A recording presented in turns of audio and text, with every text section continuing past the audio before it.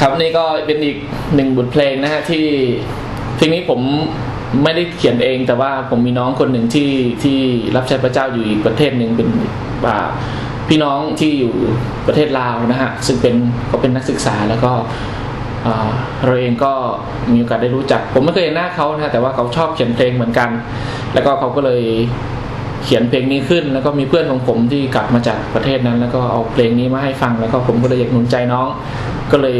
ทำเป็นเวอร์ชั่นภาษาไทยนะครับ เพลงนี้ชื่อว่า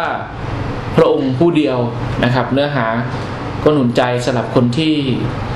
กำลังคิดว่าตัวเองมาเชื่อพระเจ้าแล้ว โดดเดี่ยวหรือว่าไม่มีใครที่จะแบบเข้าใจเขานะฮะเพลงนี้พระเจ้าเป็นคำตอบในชีวิตของเขาจริง ๆ นะครับเชิญรับฟังครับผม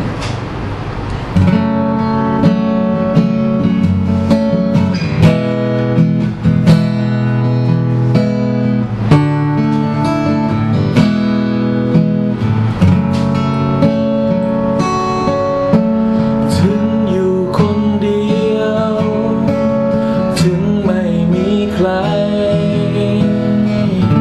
ฉันอยู่กับหัวใจที่มันว่างเปล่า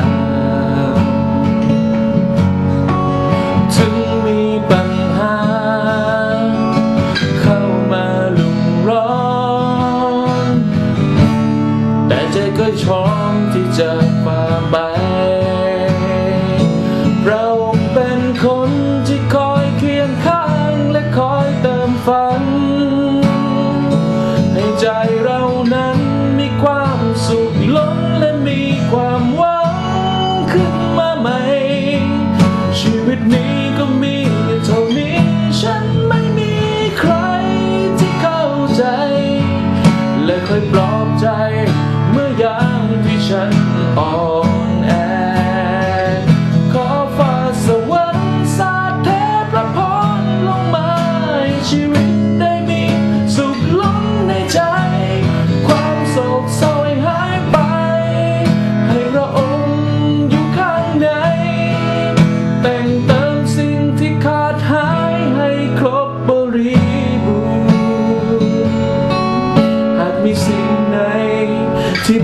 ยังเป็นความบา